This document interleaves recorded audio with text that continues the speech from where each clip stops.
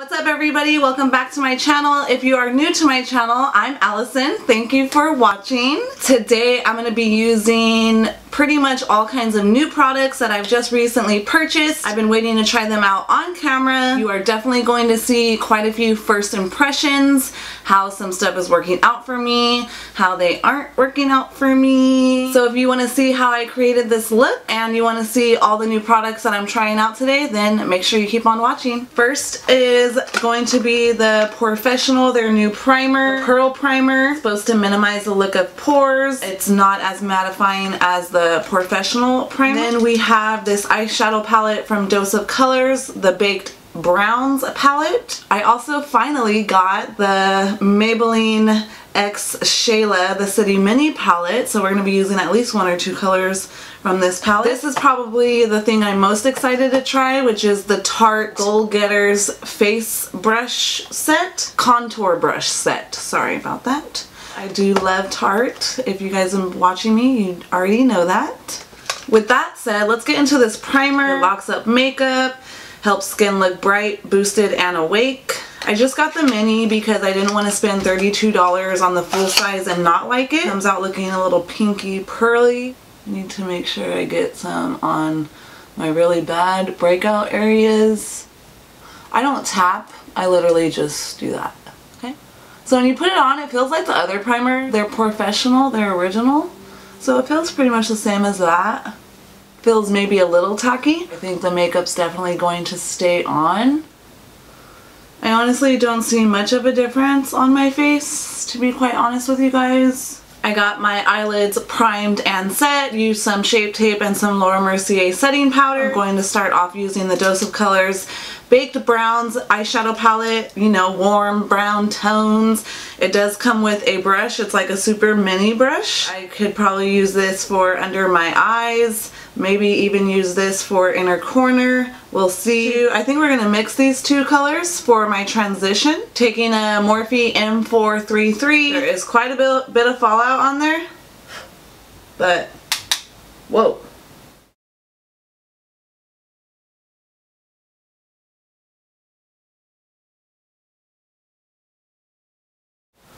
These colors seem to be blending out pretty well. I am just going to continue to blend and add more color as I go till I feel like I got my transition and crease where I want it. Now I'm going to dip into the Maybelline X Shayla palette and we are dipping into that color which I don't think there's a name for it but yeah. Using a different blending brush from Firma I don't know. And we're taking this straight into the crease.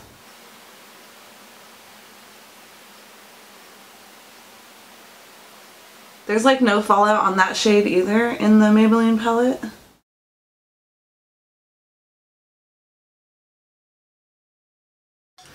Going back in with the first brush that I used with the transition colors and just blending everything out going back to the Dose of Colors palette, and I think I forgot to tell you the colors of the first two shades that I used, which was Deserted and Outdoorsy. Now we're going to dip into the dark, dark brown, which is called Rock Bottom. We're going to get that on the outer corner a little bit, and then I will probably go in with the black on the very, very outer corner just for some, just taking a Luxie Precision shader and I got this in my December Ipsy bag. We're going to just pack this on the outer corner. Once we get some color on there, we are then blending it out.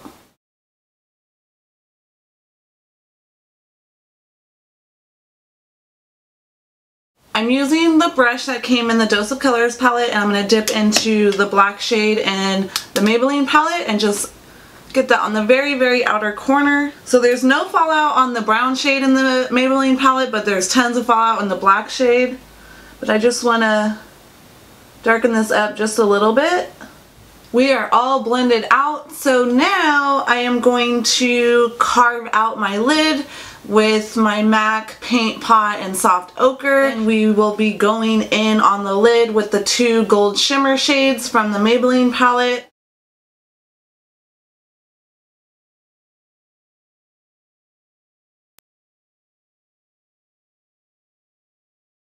I'm going in with this coppery bronzy shade closer to the outer corner and then the super gold one towards the inner corner.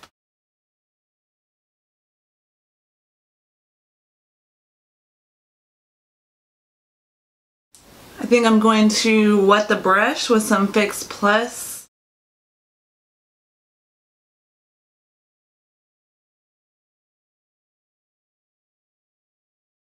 We're just blending out the outer corner. We're getting some of that gold eyeshadow. We're just going to wet it because I don't want to deal with having to go back in. This gold shadow definitely shows up more than that other copper one. Thank God. Oh, I, you know, I don't, I don't know. Should I just throw some of that purple on there? I'm just gonna dip my finger into that purple shimmery shade and see what happens. I mean, I guess it has like a cool ombre effect top of the eyes are done. Now we are ready to try these brushes. I don't typically like use brushes to put on my foundation or blend out my concealer, things like that. The only time I use a brush to apply my foundation is when I'm getting ready for work in the morning because I just don't have enough time and I can literally get the foundation on, blend it out pretty well with a brush like in five minutes, whereas when I use a beauty blender, it takes me at least 10 minutes. This brush set does retail for $44. I did get it on sale I think I bought it from Sephora. Pretty sure I bought it from Sephora. It is a contour brush set. I got my phone out. I'm on Tarte's website so I can kind of explain what these brushes are for. Now here the biggest one right here is the bronzer brush and you just apply your powdered bronzers with it. How about that? Next we have the contour brush. What I like about this is that it is a little bit of an angle Chiseled slanted head allows you to carve out cheekbones and create a razor sharp jawline. Oh, okay. Alright, alright, alright. We have the foundation brush and it just applies your foundation. Next we have the highlighter brush. You can also use it for under eye baking brush. I don't know about that, but Maybe. Lastly, we have the concealer brush. Small tip means you can precisely correct imperfections and even sculpt your nose. Oh, maybe I'll just use it for my nose contour today. I think that's what I'll do. Using my Fenty Beauty foundation in the shade 290.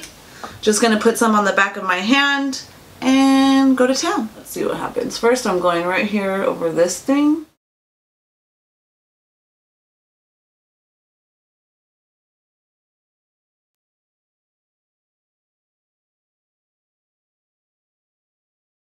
So I think that this brush really sucks up a lot of product. Like a little too much product for me. Like I just did two pumps and I feel like it's already gone.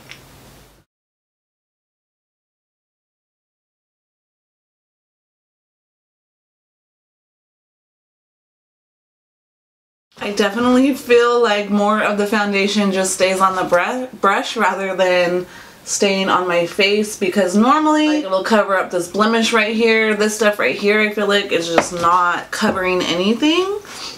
My first impressions of this brush, I don't think I like it. And I don't think I'm going to use it for foundation because now I definitely have to go back in with my beauty blender and get some more product on my breakout areas. I mean, it feels nice on the face and everything like that. I feel like it's just sucking up all my product. There's three pumps and usually uh, I mean, I can get everything on and blend it out and looking perfect. Three pumps. I think I'm a little disappointed in this brush, which sucks. I definitely have to go back in with one more pump and I'm going to use my beauty blender to get these areas that are not getting covered up. Oh, and I forgot, I'm using a new concealer today. Picked up the Urban Decay All Nighter Concealer in the shade medium light neutral. Now I used to love the All Nighter foundation so I definitely wanted to try the concealer. It's a very small wand, not as big as the Shape Tape one. I mean not that that's a big deal or anything. It's not too bad of a concealer. I can't really tell if it's covering up more than Shape Tape. I don't think it is. I think I'm going to have to try it doing the all-nighter on one side and the Shape Tape on the other side so I can really tell like which one does what for me. I mean, it's not bad, but let's set it please real quick. If you guys can tell, I've been using the mirror from the Kylie Holiday Collection. You guys are probably thinking that I'm going to use the highlight in here, but I'm not feeling this $62 highlight palette. Uh, maybe I just don't know how to use it, but I do have a full video review, first impressions, swatches, my experience with Kylie Cosmetics customer service uh, video, and I will leave that link down below, so make sure you guys check it out in case you're wondering about this one. For my contour today, we are using the Tarte Clay Play Face Palette. I have been mixing these two shades right here for my contour. This one is Terracotta and this one is Desert, so I'm just going to mix those two. We are going in with the contour brush. Let's see how this works out. Just dipped into each of them once, and let's see what happens.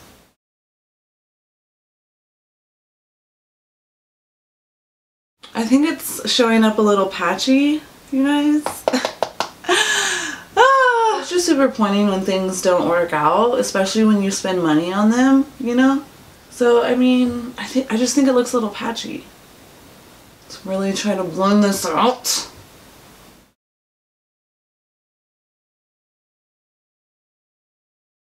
I just feel like I have to work really hard to like get it to blend out. Do I want to use this on my forehead? Let's do it, why not? See what kind of contour it gives my forehead.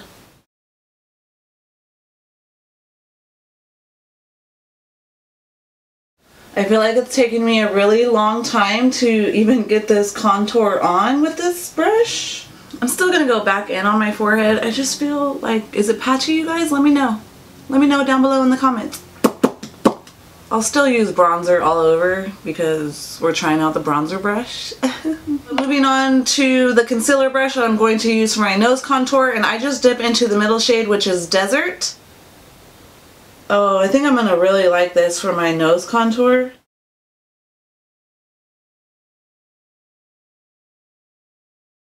So I definitely like that brush for my nose contour for sure. I'll probably start using that quite often for that. I'm going to do highlight and then we're going to finish off with some bronzer and some blush. I'm going to go in with Dose of Colors Desi X Katy Mita May for my highlight, at least to start off with my highlight. I'm not going to wet the brush just yet. We're going to see what this does. It goes on really pretty. That's going on not too bad. Not even wet wetting the brush.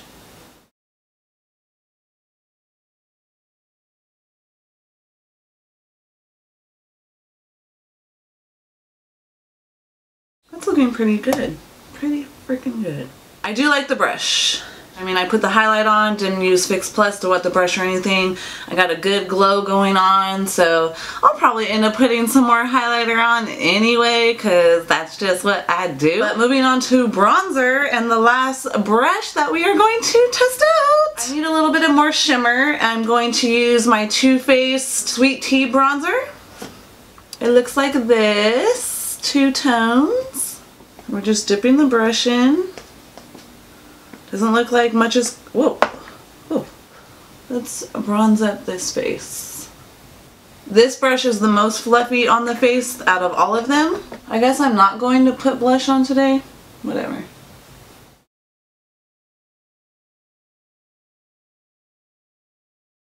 Overall, it's looking pretty good. I just need to finish my under eye, get some lashes on. I was doing my under eye and I'm just like, you know what? This eye look, needs some glitter. Okay. I went ahead and put on my Tarte Eye Jewels glitter liner.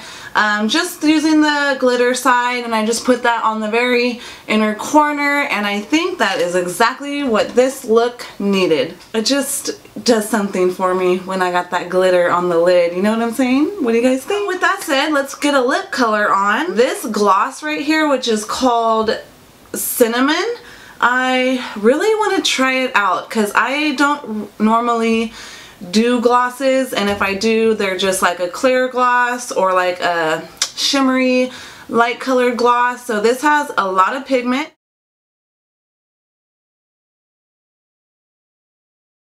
This gloss has so much pigment. Crazy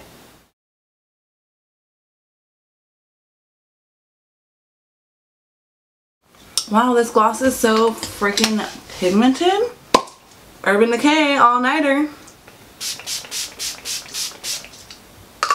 You know, $10 for this little Maybelline eyeshadow palette, not too bad. I did get a deal on it from ordering it from Ulta Beauty. Really like this. I might even try to do like an all matte eye look with this. I don't know. Even this Urban Decay All Nighter Concealer seems to be working out pretty well so far. Let's see how it wears throughout the day. But, oh, okay. I'm really feeling this gloss. I'm not like a color gloss type of girl. And as far as this brush set, now for sure to be using this for my nose contour. We'll definitely use this probably here and there for my highlight. Probably won't use this too much for my foundation. I just feel like it sucked up all of the product and I had to use a lot of foundation to get the coverage that I wanted and I still ended up using my beauty blender so Probably won't use that that often. Did kind of like this. I just felt like it took a lot of work to get the blending that I needed with the contour. This seemed to work out pretty well. I want to try this without doing contour and then just using this for bronzer all over my face and see how that looks. I love trying out new products. I love spending money on new products and trying them out and I hope you guys enjoyed going through this process with me today. Please let me know down below what your favorite product was out of everything that I showed you and used today. With all that said, thank you guys so much for watching. Please give me a thumbs up and of course subscribe to my channel. I'll see you guys in the next video. Bye!